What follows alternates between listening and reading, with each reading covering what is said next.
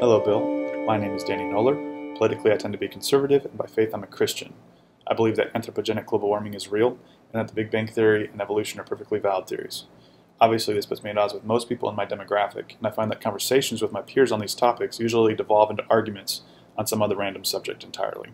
My question for you is why are these topics so politically charged when they're matters of science and not politics? And how do I engage into meaningful conversation? Thank you for answering.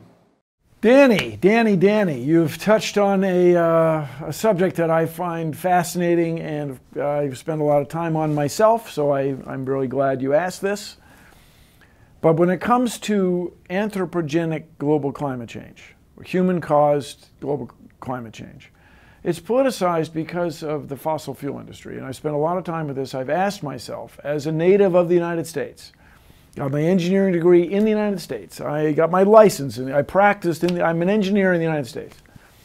Why is the United States not the world leader in addressing climate change? Why isn't the United States the world leader in renewable energies, uh, better water purification or desalination techniques, uh, better ways to provide the internet to everyone on earth? Why isn't the U.S.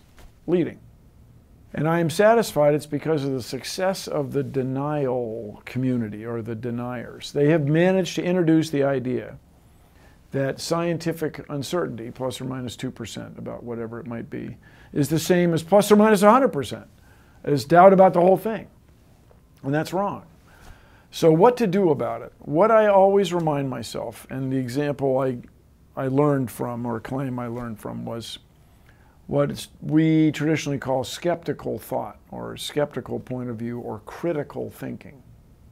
When you tell somebody who reads her or his horoscope every day that horoscopes are false, that there is no scientific evidence, people have tried over and over to validate horoscopes, and there is no connection between is written on those, what is written on those pages and what happens in your life. None. And this, even the whole idea of the full moon that there are more hospital visits on a full moon is false. It's statistic, you can show it, it's not complicated. There are no more hospital visits on a full moon than other times. Okay. The first time someone you're having a conversation with hears these things, he or she is troubled and reacts, might push you away. But what you do is, in my opinion, is you chip away at it. The first time the person hears this, that the fossil fuel industry cherry picks data. The fossil fuel industry has thrown a lot of money at conservative uh, members of U.S. Congress in order to support their political campaigns if they will support, for example, no changes in the way coal is mined, for example. Uh, the first time they hear it, they reject it. But if you just chip away at it, after a while, I think you can convince people, bring them around to your point of view. And the other thing, just important, I think will help focus your discussions, is the word theory. Now, the word theory is something we is a word we throw around all the time. I have a theory. It's raining outside. but in science, a theory is a special thing, and it's, it's not complicated. It means you can make a prediction.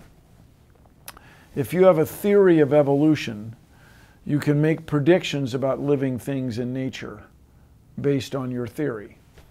Uh, you can make predictions about, about uh, climate change based on measuring atmospheric gases and making computer models that uh, jive or work together well with evidence in geology or in the ancient rocks. If you have a theory of time, we were talking recently about relativity, you can make predictions based on that theory, and, uh, and the predictions will be true. So when you are having these discussions with people, just see what it is, see if they have a way with their point of view that enables them to make predictions.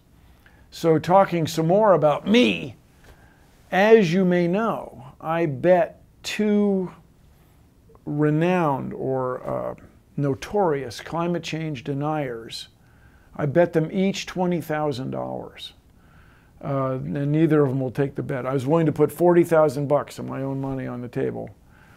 Uh, that 2016 will be among the top 10 hottest years ever recorded.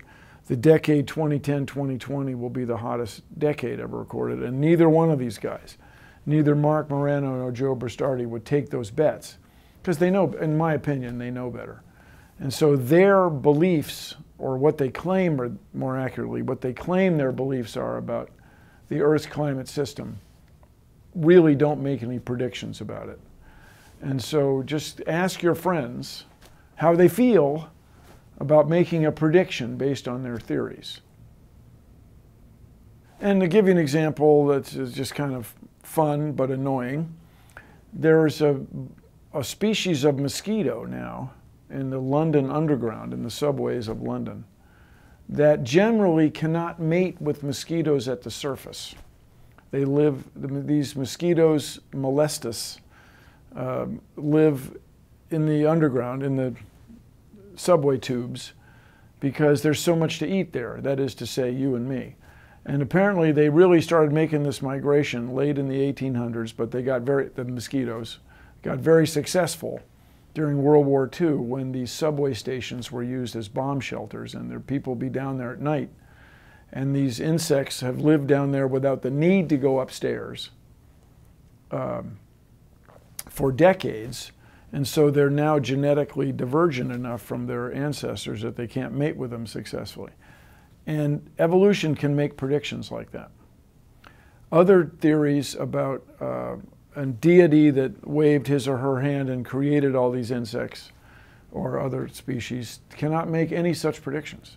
They would have made no such prediction about an emergent species in the London subway, and so on and so on.